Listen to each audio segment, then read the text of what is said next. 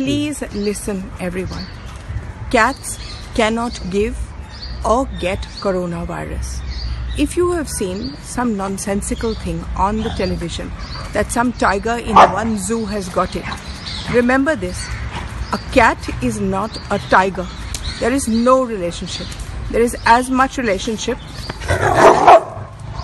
a dog has with a wolf. Your cats are completely safe to be around. So allow people to feed them, allow them to be in every colony. They are a great asset.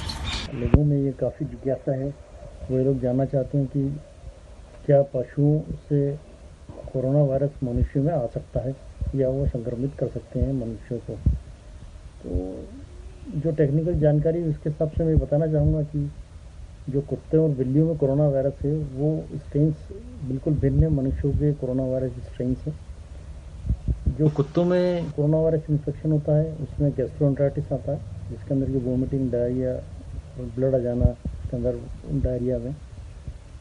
बिल्लियों में जो corona virus होता है, वो है feline infection पेक्टोनाइटिस और ये दोनों ही मनुष्यों में संक्रमित नहीं होते हैं नहीं फैलते हैं जानवरों के द्वारा।